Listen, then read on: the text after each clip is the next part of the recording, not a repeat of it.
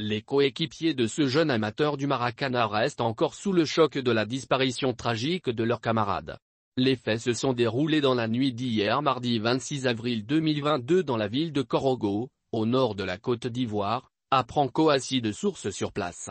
Selon les informations en notre possession, Amanda Traoré, amoureux du football était en plein match de Maracana de nuit lorsqu'il s'écroule soudainement.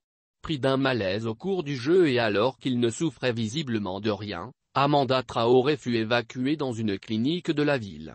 Malheureusement, le jeune joueur est décédé et sa mort laisse les membres des deux équipes FC Séville et l'Opounan FC qui s'affrontaient cette nuit-là, sous le choc les coéquipiers de ce jeune amateur du Maracana restent encore sous le choc de la disparition tragique de leurs camarades. Les faits se sont déroulés dans la nuit d'hier mardi 26 avril 2022 dans la ville de Korogo, au nord de la Côte d'Ivoire, apprend Coassi de sources sur place. Selon les informations en notre possession, Amanda Traoré, amoureux du football était en plein match de Maracana de nuit lorsqu'il s'écroule soudainement pris d'un malaise au cours du jeu et alors qu'il ne souffrait visiblement de rien, Amanda Traoré fut évacuée dans une clinique de la ville. Malheureusement, le jeune joueur est décédé et sa mort laisse les membres des deux équipes FC Séville et l'Opounan FC qui s'affrontaient cette nuit-là, sous le choc.